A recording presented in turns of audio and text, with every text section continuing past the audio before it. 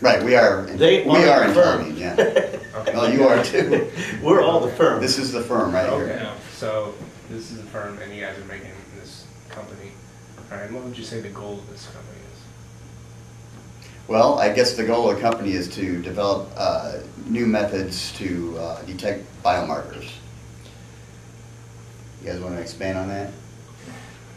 That's great. Well- That's a great answer. Um, but, but we probably should talk about what biomarkers are, Yeah, maybe? Go ahead. Go ahead and explain that. I tried to do that yesterday with Inside Indiana, it didn't go as well as I. Um, well, all kinds of biological phenomena have molecules associated with them.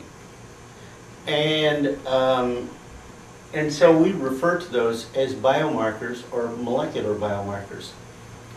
Um, and that ranges from uh, monitoring drugs, both good and bad, to monitoring diseases such as cancer.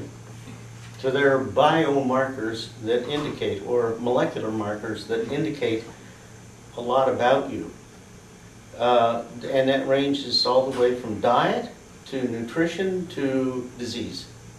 It's basically the diagnostic tool to uh, identify the specific condition of your body. Uh, so if you were exposed, for example, to the drug, or if you have the, the disease like a cancer or diabetes, so you focus on a specific molecule which is only associated with that exposure or with that disease. Uh, Well, the marijuana detection is, we're sort of like a test case for us. It's a thing we, it's the uh, biomarker that we've started with.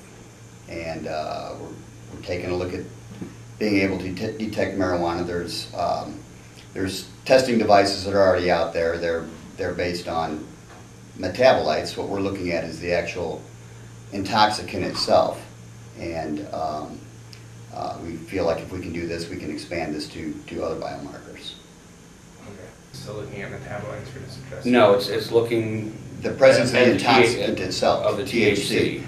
And uh, a lot of uh, situations, say in an occupational situation, you're driving a train or a, you know, a crane or a a forklift or something like that, you, you know, a lot of employers may not be quite as concerned whether you, you know, smoked pot a week ago, but they want to know if you're, you know, doing a a dangerous occupation and under the influence. So, Currently under. the currently influence. under the influence.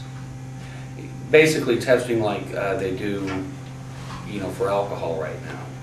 You know, um, alcohol tests that are out there only tell you whether you, you know, there is, the, the intoxicant is in your system. And that's what we're trying to do with THC.